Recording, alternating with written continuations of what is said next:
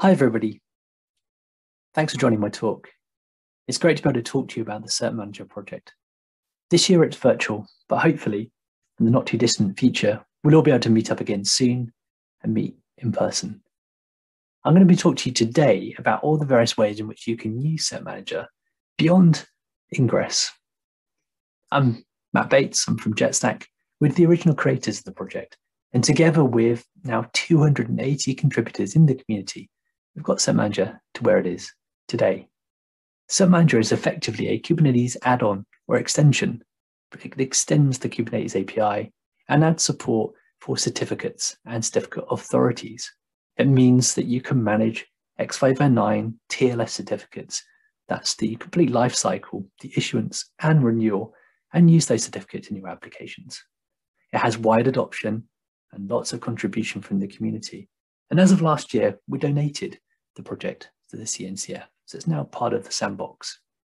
It's got integration with a variety of different public and private PKI providers, both in the core of the project, but also as so-called external issuers. And we're going to look at that in the talk today. Briefly, how does Cert Manager work? As I said, Cert Manager is an extension or an add-on. It provides a number of additional resources, so-called custom resources, CRDs, and provides them to the on top of the Kubernetes API. These represent certificates and certificate authorities. We can refer to that as an issuer. This provides first-class support for those in the Kubernetes API, and you get all of the advantages of being able to manage those resources declaratively, much like you manage pods and deployments. Cert Manager has a controller that manages the lifecycle of those resources and importantly is able to provide the automation of those certificates, automating the fetching of those certificates and importantly the renewal of those as well. Cert Manager is most commonly used to secure ingresses and you can see here it's really quick and easy to add a TLS certificate to an ingress simply by adding in this case the, the annotation which references where you want the certificate to be obtained from. So in this case, it references the Let's Encrypt staging issuer that I have in my cluster.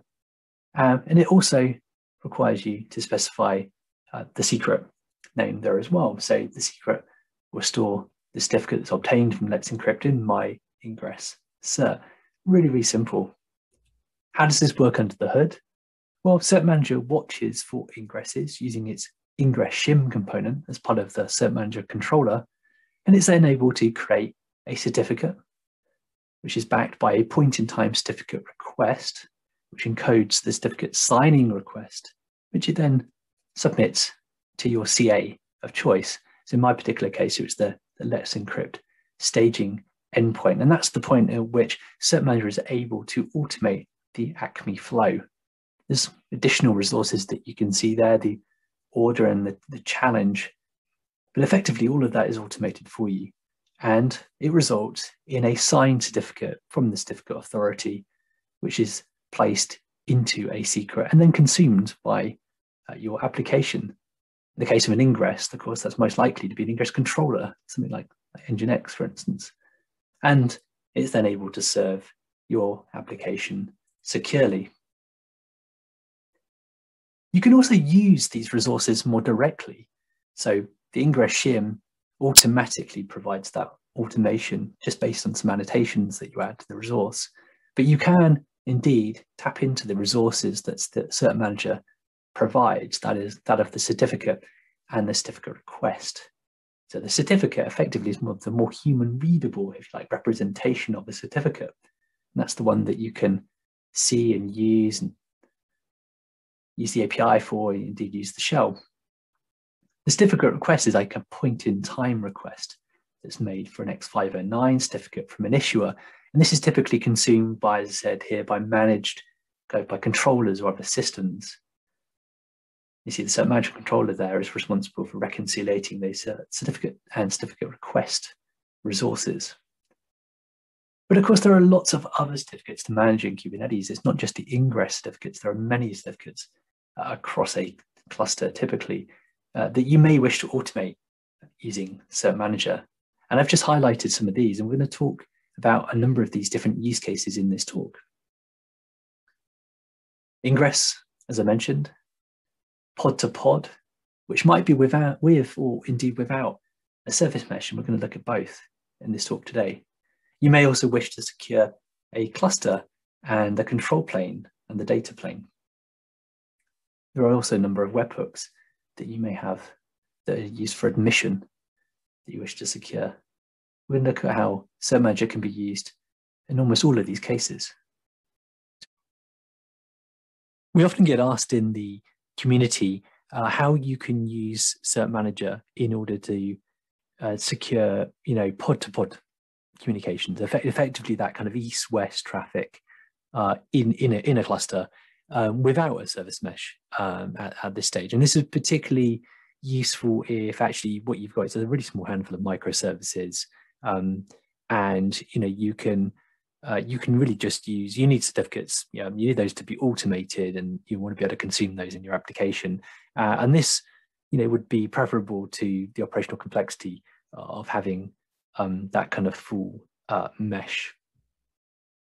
So here's an example of actually how you can use a cert manager certificate resource um, directly. You know, so you can go and create uh, this in source control, uh, of course, and apply it you know, directly via CI/CD um, to your cluster. And Cert Manager will um, automate the issuance of this certificate and put it into a secret that you can then consume um, in in an application in a pod. And so, a couple of uh, things to point out here. Um, making this uh, this particular example is going to be very short-lived certificate.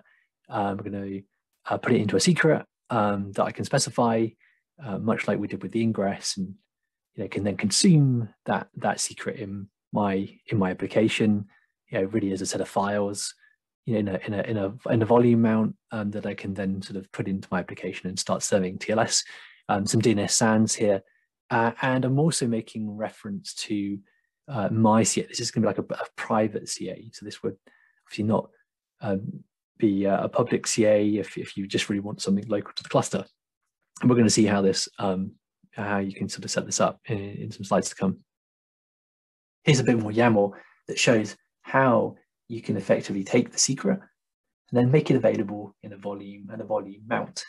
And the files will, will be available to this ping service or this ping pong service at the mount path etc SSL private. So there you go. There's the, the key pairs and the CA uh, certificate uh, as well. There's a really, really simple way of being able to use the underlying, if you like, resources in Cert Manager programmatically. And we've got a number of end users that do uh, exactly this at scale.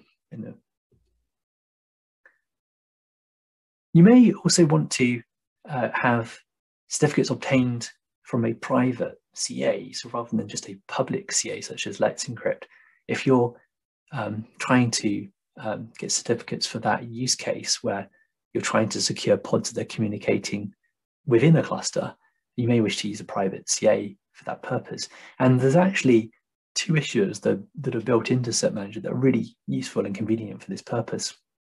They're the self-signed issuer, or so-called self-signed issuer, and the CA issuer. And you can see here what I've taken is a number of snippets of YAML which show you how you can combine these resources in order to create what effectively is a self-signed CA. There on the right-hand side, you can see there is a certificate called MyCA. I've used the isCA flag to denote that this is going to be a CA certificate. It's got a 90-day duration, specified the secret, the common names and subjects, a number of other properties that you can specify and an issuer ref. In this case, I'm referring to that sort of self-signed uh, key that I generated there on the left-hand side.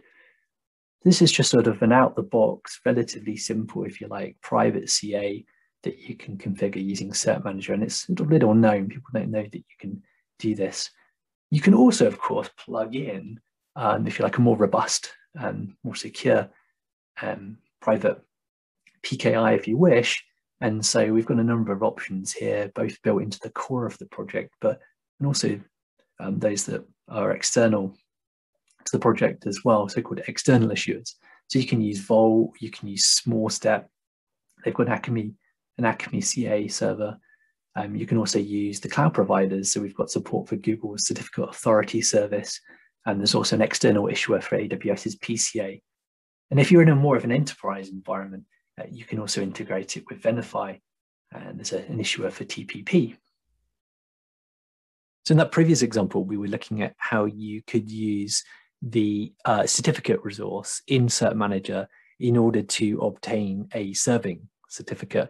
But how about if you wanted to use Cert Manager uh, to do um, interpod, uh, you know, pod to pod, mutual TLS, and you know obtain both you know a, a serving certificate but also a client certificate. So I've got an example here of you know really really simple example of a ping service and a pong service, and um, we've open sourced this lab. If you want to go and find it, you know, follow the link there on the slide. Um, it sort of hooks up, uh, you know, this ping pong service, um, simple Go binary that you can also use in some of your, your own examples. In this um, example, we have is the two services I said, ping contacts Pong, verifies itself with the client's uh, um, Pong replies, it, that's secured using the server cert. Um, and yeah, it actually replies back to the browser so you can see the, the contents of the Pong certificate. And importantly here, both Ping and Pong, they're only going to trust certificates that are signed by the same uh, root CA. So how does this look? Um, how does this look um, in, in YAML? Well, we have, uh, as before, we have the, we use the certificate resource and we've now got um, one, we've got basically two certificates, got both the ping and the pong. And you can see here um, in the certificate resource, we're able to uh, specify the, the key usages um, that get passed down, you know, when, when creating the certificate. And so, you know, you can sort of use here both client or server auth um, and set those uh, appropriately. And both of the certificates here, both are both Ping and Pong, use the same issuer. So they're pointing at that uh, private CA um, that I uh, created um, on the previous slide or showed on the previous slide. So using the certificate resource in this way, um, you can you configure it to create certificates um, in order to do things like, for instance, um, you know, authentication to a database. And so we've um, got this blog post uh, that one of our team put together uh, in which we used, you know, we, we talked through how you can use Cert Manager to create certificates for uh, client authentication with MySQL. Uh, and there's been lots of examples. We've also seen the community uh, of where users have, uh, have used it exactly um, for this type of purpose. Rather than manually having to create and manage those certificate resources for applications in the Cert Manager project, we have developed a CSI driver in order to make it um, even more seamless. The very neat thing about the CSI driver is that it means that private keys can remain node local. Uh, so rather than being uh, put into a Kubernetes secret, uh, as is the case with some of the integrations that we've already seen. Um, in this particular case, you can keep uh, the private key to the node where it's generated um, by the CSI driver. It means you can provide unique key and uh, certificates for each of your applications. So if you're using a replica set as part of a deployment, you've got many pods. Each of those pods can have its own unique identity. Um, and that identity, that X509 identity, can be obtained at the point uh, of application runtime. It also means that these certificates are renewed, uh, much like the other use cases. Cert Manager will uh, know when to renew the certificate and provide a means to do that for you. So this just makes it really super simple in order to get those certificates to each of your applications. How does the CSI driver work? Well, the CSI driver resides on each of the nodes in the cluster. Uh, is deployed as a daemon set. And just stepping through how it works, first of all, the pod is scheduled to a node. The kubelet, of course, is responsible for coordinating um, the, the runtime. It works with the node uh, driver, this the CSI driver, by calling the node publish volume. At that point, the driver kicks in and it uh, generates a private key and it generates a certificate request. That's a cert manager certificate request, which yeah, it effectively encodes a, CSR. Um, that's that certificate request is uh, submitted to the API server uh, on your behalf. The CR is then reconciled and a certificate is obtained um, from your kind of CA of choice. And that certificate is then, together the private key, is written to the node's file system, and then that's bind mounted into uh, each each of the pods, obviously into each of the relevant um, pods. The driver will keep track of all of the uh, certificates, and it will also be responsible for for renewals. And uh, if at any time, or if and and when, of course, um, the pod is terminated, um, then it will also uh, send out a call to the driver. The kubelet will send out a call to the driver in order to make sure that the uh, certificate and the key are deleted. So this is a really seamless, um, automated way uh, of getting those identities. You can also use Cert Manager to secure Kubernetes webhooks. Webhooks are used for a sort of dynamic admission control, used for a variety of purpose, for, for instance, mutating resources or validating resources um, as they are admitted to the API server, and typically used, for instance, for applying default values or enforcing policy using you know, the likes of OPA, Kyverno, and also for ensuring that resources that are submitted um, are semantically valid. And in fact, Cert Manager uses this um, itself. Uh, you notice there's a component called the Cert Manager webhook that does exactly this. Now, if you're doing using this as a as an extension point, uh, you want to be sure that when you are submitting these resources from the API server to those webhooks, that it's secure and that also you can be sure of uh, the uh, the destination to make sure that nothing nefarious is happening um, with it being mutated or or validated in, in, in, a, in a way that you would not expect. So you can use Cert Manager in order to secure those endpoints and secure those, provide the means, provide the certificates for those endpoints. And there's a couple of annotations, or few annotations, shall I say, uh, where you can um, do this. One is inject CA from, Cert Manager IO, inject CA from, you can reference a certificate. Um, and you can also inject it from a secret, and you can also inject the API server CA certificate uh, as well. This uses a component in Cert Manager called the CA injector. It's responsible for watching in on these annotations and then providing the means to be able to automate, automate it for you. One example of where this is used um, is in Cluster API. So this is an example of a command that I ran recently uh, when spinning up a local Cluster API cluster. Um, you're using Cluster CTL, as you can see. And one of the very first things that it does, it fetches the various different providers, and then it installs Cert Manager.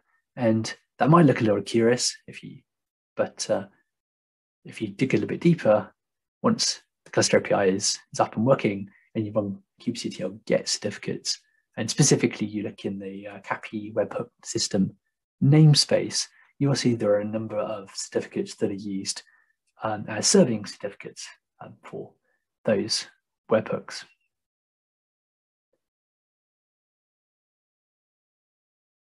Now, service message becoming increasingly uh, popular and a number of users in the community are asking how they can integrate Cert Manager and also all its various different CA integrations into the mesh so that those workload certs, the control plane certs and data plane certs are provided um, from their sort of uh, provider of choice.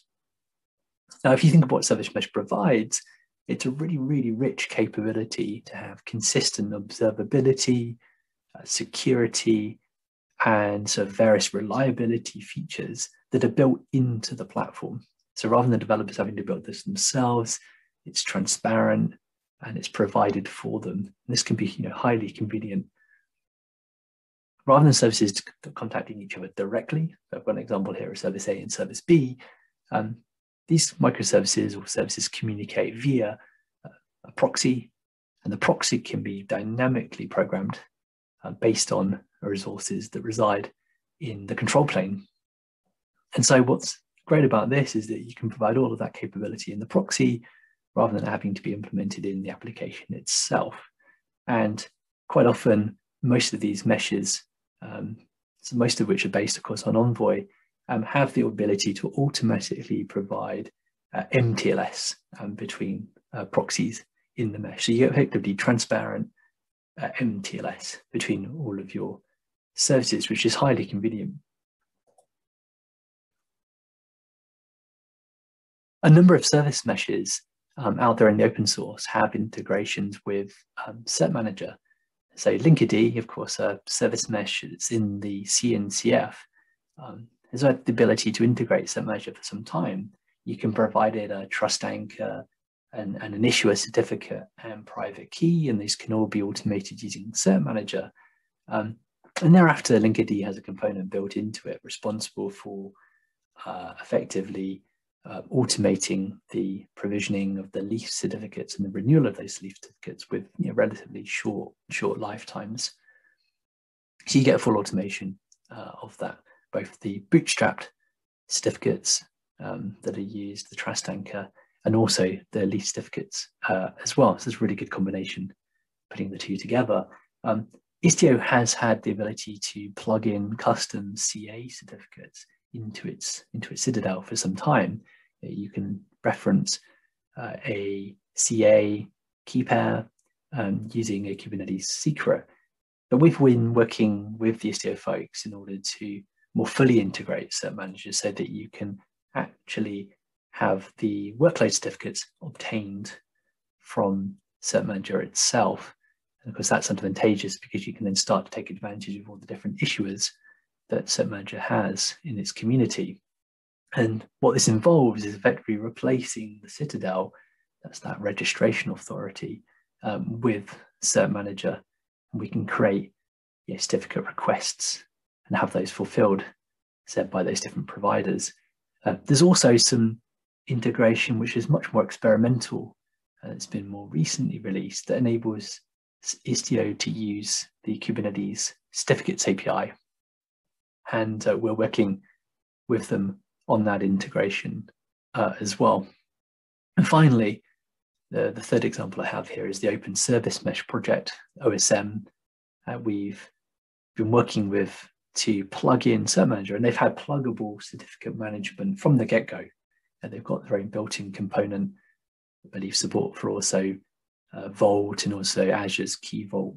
Um, but yeah, if you want to use Cert Manager, there is an integration there and enables you to uh, plug it in um, and it will that component will be responsible for creating and managing uh, certificate requests um, for the workloads that run within the mesh. So variety of different integrations there that enable you to plug into Cert Manager and in turn, of course, all of its integrations that it has um, with different issuers, be it those that are built into the core of the project, but also those that are external to the project as well. Cert Manager can also be used to uh, secure the Kubernetes control plane and the nodes um, that form, form a cluster. For now, for anyone that's tried setting up um, PKI in Kubernetes, they'll know that there are a lot of certs. Um, client certs, service certs of all different flavors. And uh, it can get quite complex trying to manage this. I know from doing this in the very early days of provisioning a Kubernetes cluster. Well, now things have changed. We can use the magic that is kubeadm or kubeadm. Uh, it's here to the rescue, really. It provides auto-generated, auto-renewed control plane certs. Um, by default, this uses like a self-signed certificate. So if you're happy to accept that it's uh, not not uh, rooted, if you like, in your in your existing chain of trust, um, then you can really just use this sort of as as is. Um, but if you're in an enterprise where you need those certificates um, to be rooted in some kind of existing PKI system, uh, then there are a couple of ways of doing this. Uh, at least one way is using the external CA mode. Um, this enables kubeadm basically to generate the private keys and then generate the CSRs and then let you fulfill effectively uh, the certificate signing requests yourself. And so we've built a JetStack integration um, between KubeADM and, and Venafi uh, just to demonstrate that you can use this. And since we actually did this, this command cert generate CSR has, has actually gone GA. So how about provisioning of certificates for the, the Kubernetes nodes? On the previous slide, we saw how you can use KubeADM to uh, provision certificates for the control plane and how you can customize that and use you know an external uh, external CA provided um, certificates. But how about the nodes themselves?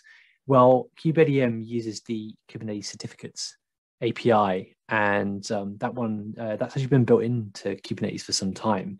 Uh, it's only recently, I think, 118, and it, that kind of GA'd. So there's now like a a V1 uh, of that API. So through a process of Bootstrap, uh, the kubelet makes a certificate signing request. Uh, that's this resource here to the API server. And that certificate signing request, um, as you can see here on the side, has a has a signer name, and those that's now a required field um, as of as of uh, V1. And those signers are actually built into the Kube controller managers. That one there, the Kube API server client kubelet signer, that's built into the controller manager, and that will automatically basically approve um, yeah, the signing of those um, certificates. But you can also configure it, in fact, to, to sort of have like a manual approval um, that you may want to provide um, using you know, something like kubectl. So having a signer name means that you can plug in uh, also other signing mechanisms uh, in that, you know, and uh, in the cert manager project, we've actually worked on some experimental signers. You can see a link to a couple of them uh, there. Um, one is the signer CA, so it's effectively like a local CA, um, and also an integration um, with Venafi using its uh, kind of open source vCert library. In the next release of Cert Manager, we're actually going to be adding uh, support, or the next releases, should I say, we're going to be adding support uh, for the Kubernetes certificates API. So that means you'll actually be able to use all the various Cert Manager issuers um, in order to sign a certificate signing request just like this um, and that'll open uh, up, you know, open the project up to being able to support, you know, kind of many more uh, use cases. So we'll support the certificate request that's built into the project um, and certificate signing requests. That's in the core of the project, core of the open source Kubernetes project. Uh, and over time, we'll look to sort of more fully embrace that core type uh, in the project. So to summarize, there's lots of ways in which you can use Cert Manager beyond Ingress. There are many use cases that stretch far and wide, really across the ecosystem, and you can use it for lots of different types of workloads, including even uh, the cluster itself. So you can use the certificate and certificate res- request resources directly, um, programmatically. You can use the CSI driver if you want to be able to have pretty seamless pod identities created and have those renewed.